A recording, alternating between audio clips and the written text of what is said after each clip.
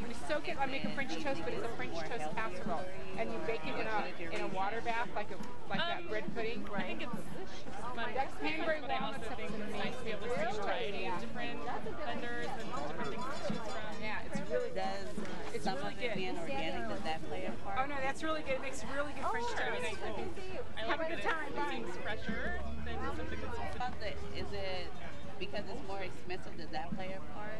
Like, does that matter if it's because it's more expensive than the grocery store? I mean, I definitely look around to see what the best price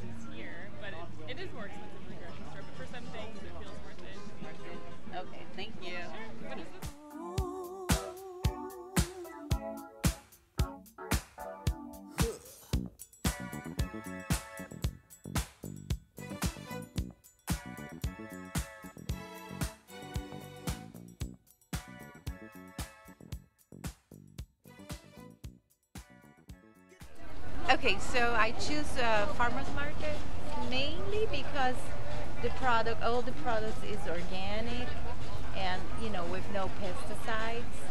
And the second reason is I want to support the farmers around, you know, the area. So, Do you have a general idea of what you want to buy before you come to the farmer's market? or- totally, yeah, because I cook at home, so all my food is homemade. Mhm. So I usually come with a plan, exactly with more or less the menu for the week. So I buy stuff that I really need for that week. So that way I don't waste food and make sure I use it all.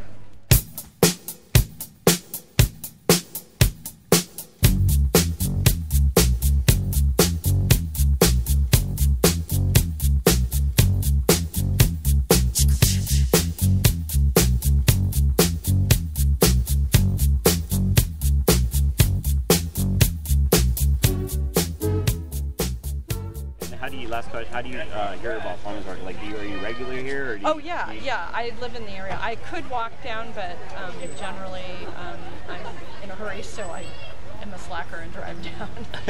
but they actually have like this farmers market has a website, and then I think there is a certified farmers market website. So like there's a farmers market now. that you Jesus, know, you know, you Facebook, that Yeah. kind of stuff. You know, social media. yeah.